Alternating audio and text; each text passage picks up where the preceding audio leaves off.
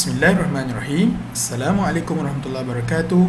Izi Mufradat pada kali ini akan menerangkan satu lagi lafaz dalam Al-Quranul Karim iaitu lafaz ansabun. Lafaz ini adalah bentuk jamak bagi an-nasab ataupun an-nusub.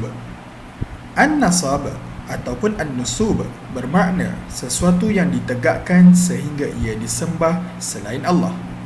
Ia juga bermakna kejahatan dan bala.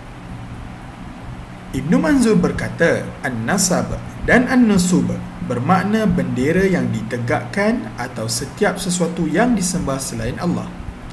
Al-Farra' berpendapat, An-Nusub seolah-olah adalah Tuhan yang disembah daripada batu.